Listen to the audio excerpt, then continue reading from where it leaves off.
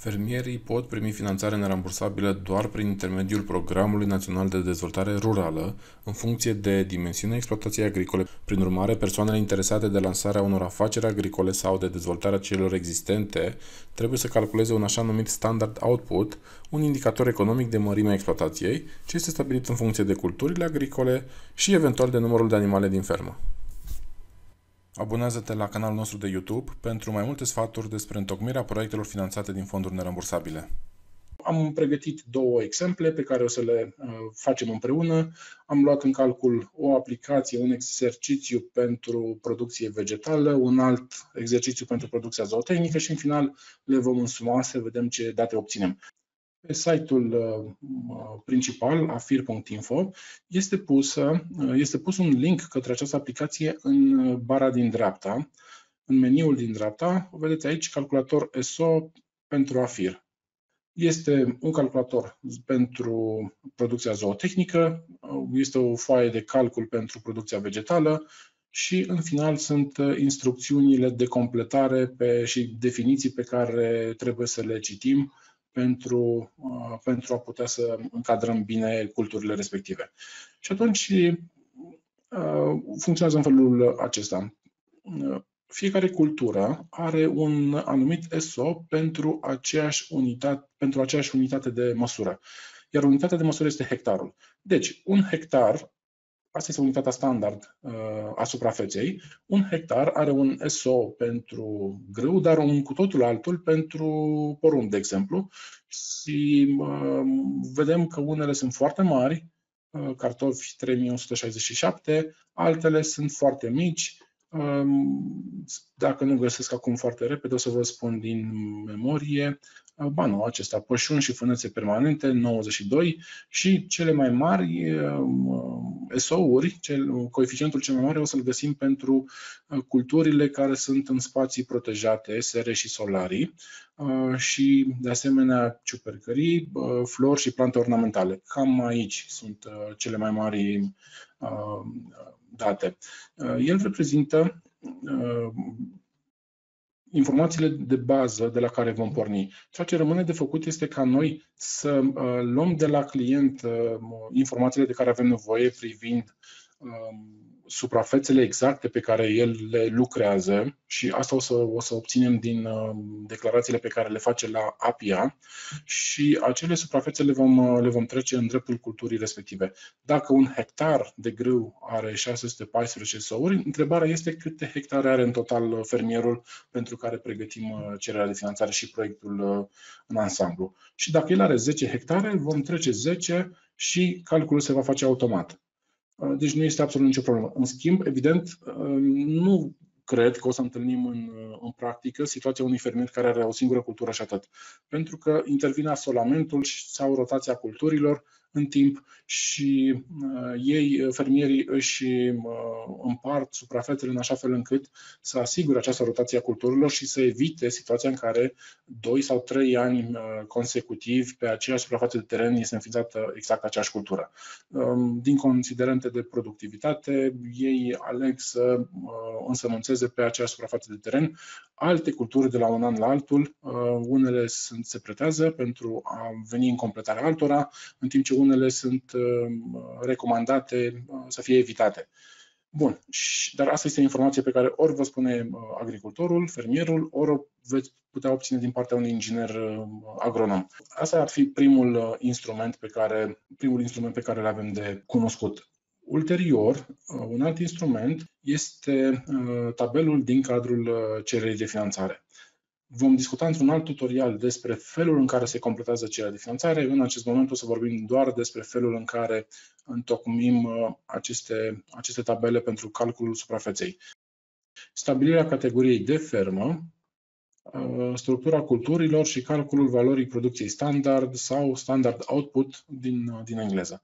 Este același tabel pe care l-am văzut și pe site-ul AFIR, nu este niciun fel de Uh, deosebire și felul în care trebuie să le interpretăm va fi următorul. Vom uh, vedea acest tabel cu toate culturile uh, și cu suprafețele de teren pe care va trebui să le completăm din, din ceea ce fermierul a declarat la APIA. Și atunci îl vom interoga sau îi cerem documentul respectiv, un document justificativ, și voi completa valorile aici. Dacă vom pune 10, așa cum am făcut și în exemplul anterior, pentru o suprafață de 10 hectare, știind că un hectar are 614 SO-uri, vom obține 6140,9 SO-uri în total. Dacă vom derula această pagină care se referă la producție vegetală, vom obține un total. La final vom obține un total 6140 pentru că doar o cultură am uh, introdus în, uh, în exemplul nostru și urmează apoi un uh, tabel pentru producția vegetală pentru uh, sectorul uh, nu, nu, nu vegetal, ci zootehnic. Similar se va face și aici, va trebui să vedem care sunt animalele pe care le are în gospodărie sau în fermă și uh, să introducem datele respective.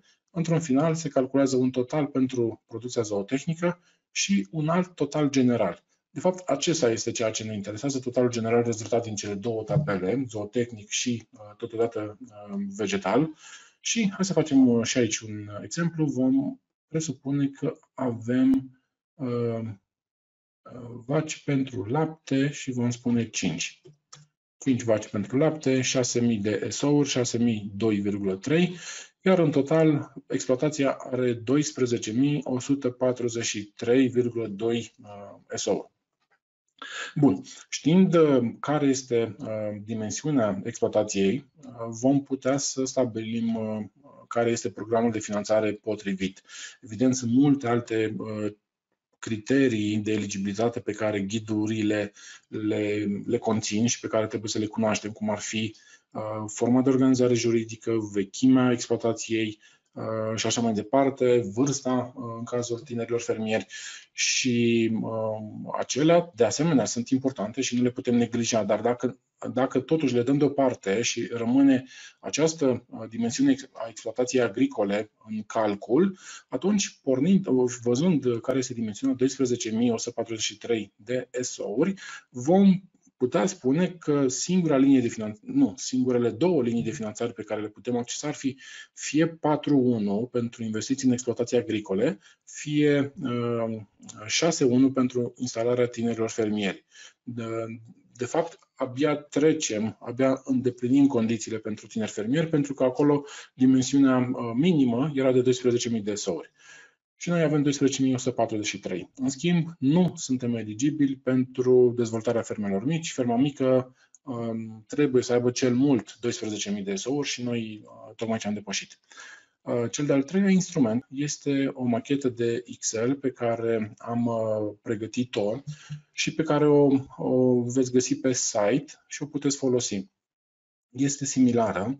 Avem un tabel pentru producția vegetală, avem un tabel pentru producția animală și, în schimb, ceea ce de fapt este uh, elementul în plus față de lucrurile pe care le-am văzut uh, mai devreme, ar fi această secțiune. Avem o secțiune în care se centralizează producția vegetală și zootehnică și obținem un total al uh, dimensiunii economice a fermei și mai jos se estimează dimensiunea exploatației, avem eligibilitatea estimată doar în funcție de SO, cum spuneam, sunt multe alte criterii de care nu am ales să nu ținem cont acum și ne va afișa aplicația dacă vom fi eligibili pentru 4.1, pentru 6.1 sau 6.3, lăsând deoparte toate celelalte criterii. Uh, în final, se afișează și care este valoarea sprijinului uh, sau care este valoarea ajutorului financiar nerambursabil estimat.